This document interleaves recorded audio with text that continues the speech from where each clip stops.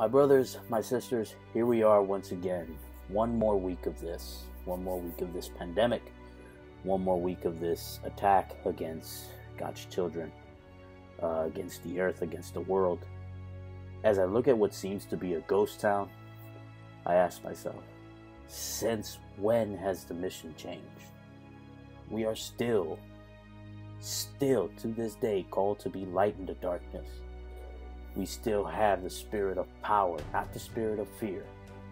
We have a mandate to spread the good news even in the midst of this storm. I'm not here to tell you to hide or isolate yourself. I'm here to tell you I know what hope looks like. I know who hope is. I know who conquered the grave and gave us the authority and dominion to walk this earth with no fear I know who gave it all for us to live and have authority to take actions when things like this happen. I'm not saying go out and start hugging everyone. I'm saying stop thinking that just because everything is being shut down means you need to be shut down as well. The device you hold in your hands is a great tool to spread the news, to spread the news of Jesus. So, what are you waiting for?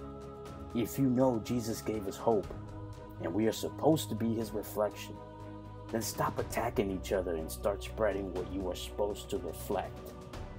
Keep your head up. Even during this time, never let the world convince you to be someone you are not. You were set apart.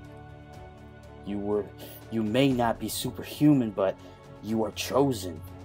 Fear, anxiety, depression, COVID 19, and anything that attacks God's children we all come against you in the mighty name of Jesus and bind you because you have no authority over our lives. Your kingdom come, your will be done, here on earth as it is in heaven. We all have strength from above. Stay safe, stay blessed. I love you all.